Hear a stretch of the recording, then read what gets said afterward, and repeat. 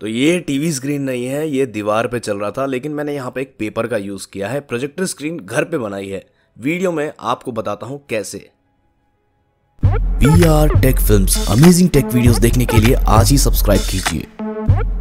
B R tech film आपका स्वागत है और मैंने काफ़ी सारे प्रोजेक्टर के रिव्यूज़ करे हैं आपको दिखाया है कि किस तरह से प्रोजेक्टर चलता है दीवार पे किस तरह की क्लैरिटी आती है।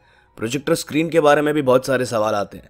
यहाँ पे मेरे पास में एक पेपर है पेपर के बारे में मैं आपको बताऊँगा, मैंने इस पेपर को यूज़ किया, कितना फ़र्क हमें नज़र आता है, प्रोजेक्टर को जब हम दीवार पे प्रोजेक्ट करते हैं या इस पेपर पे करते हैं, और घर पे क्या हम प्रोजेक्टर स्क्रीन बना सकते हैं? बाज़ार में प्रोजेक्टर स्क्रीन मिल जाती है 800 से लेके तीन चार हज़ार रुपये तक की प्रोजेक्टर स्क्रीन आती है, या शायद उससे महँगी भी।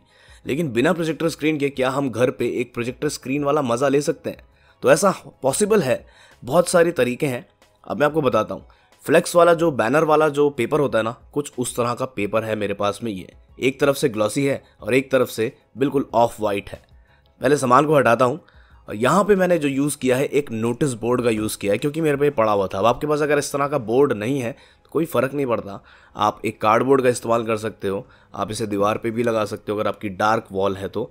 वहाँ पे इस तरह का पेपर काम करेगा। ये पेपर थिक है काफ़ी, यानी कि मोटा पेपर है। और डायमेंशंस की बात बताता हूँ, ये पेपर मैंने कितना काटा हुआ है, किस हिसाब से काटा हुआ है। डायमेंशन जो है, तकरीबन ऊपर का जो हिस्सा है, वो नब्बे सेंटीमीटर है और जो साइड का हिस्सा है, वो तकरीबन जो है, पैंसठ सेंटीमीटर के आसपास है।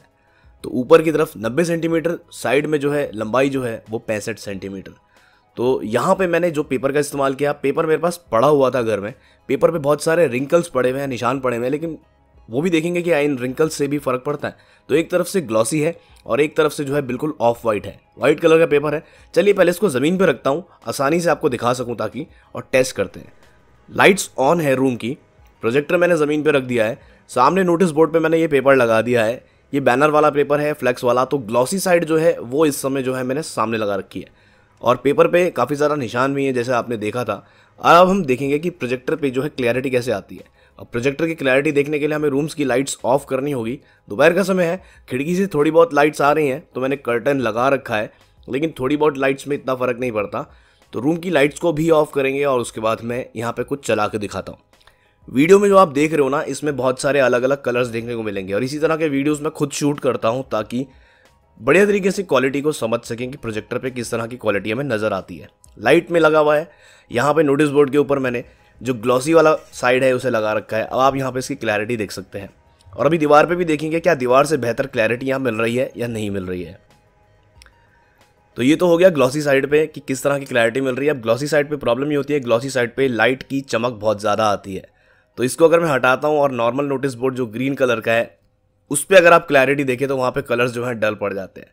लेकिन वहीं पे अगर मैं इस पेपर को वापस लगा देता हूँ तो आप देखिए यहाँ पे कितनी ज़्यादा यहाँ पे जो है ब्राइटनेस बढ़ जाती है। तो इसका मतलब है, अगर आप घर पे प्रोजेक्टर पे ज़्यादा बढ़िया क्लैरिटी देखना चाहते हैं तो आप इस तरह के वाइट पेपर का इस्तेमाल कर सकते हैं।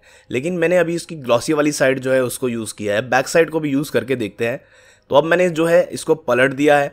ग्लॉसी साइड को हटा दिया है और बैक वाली साइड जो ऑफ़ वाइट थी, बिल्कुल ही, बिल्कुल एकदम से मैट जैसी, जिसपे कोई भी शाइन नहीं है, वो साइड पेपर का मैंने लगा दिया है।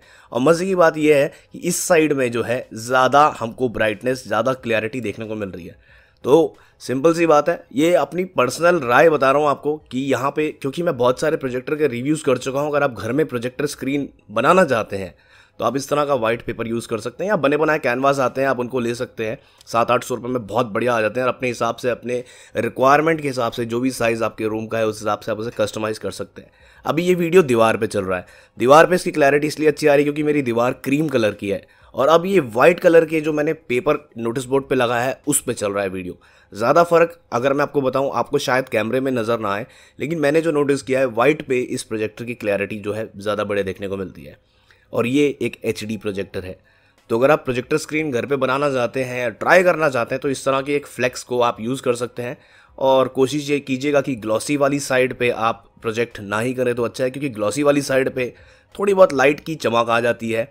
और आपको एडजस्ट तो करना पड़ेगा स्क्रीन को। यहाँ पर तो मैं आपको एक तरह का डेमो दे रहा हूँ तो इसलिए आपको मैंने जो है यहाँ पर एक बेसिक साइड है दे दिया है। तो जो ऑफ़ वाइट वाला साइड है, वहाँ पर कुछ बढ़िया क्लैरिटी हमें देखने को मिल जाती है। तो कैसा लगा ये वीडियो? मुझे कमेंट्स में ज़रूर बताइएगा। वीडियो को लाइक करना मत भूलना। और चाहो अगर आप इस तरह का फ्लैक्स लेना तो मार्केट में इजीली अवेलेबल होता है, आपको मिल जाएगा। कुछ और नए गैजेट्स कुछ और टेक और कुछ और अमेजिंग चीज़ों के साथ में बी आर टेक फ़िल्म में मिलेंगे अगले वीडियो में। ये वीडियो को लाइक करना मत भूलना।